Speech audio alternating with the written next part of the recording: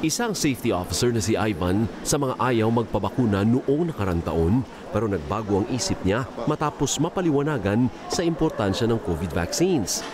Para makatulong po tayo, masagpo po natin yung pandemyang ito, isa, yun po yung magagawa natin sa ngayon, eh, magpabakuna po tayo. Makasama po tayo sa population na merong immunity dun sa COVID virus.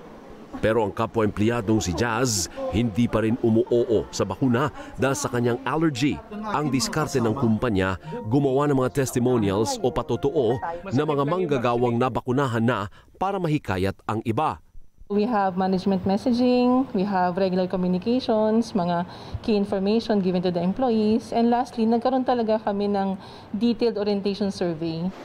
Problemado ang pribadong sektor dahil marami pa rin ang ayaw magpabakuna kaya may panukalang batas na naglalayong gawing mandatory ang pagpapabakuna. I think we have to uh, really take this seriously or else masasayang ang binili ng mga private sector. If our citizens will not take the vaccine, then what can we do? We deserve what we, we get. If we think of ourselves, no, I don't want it because this is my body, and that's being selfish. Ayon kay Concepcion, kung talagang mababa lang ang bilang na magpapabakuna, saka na lang ikonsiderang gawing mandatory ang vaccination.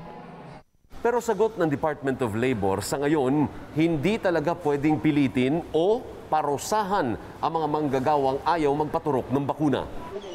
Babala pa ng dole, hindi rin pwedeng hanapan ng vaccine card para manatiling may trabaho ang manggagawa.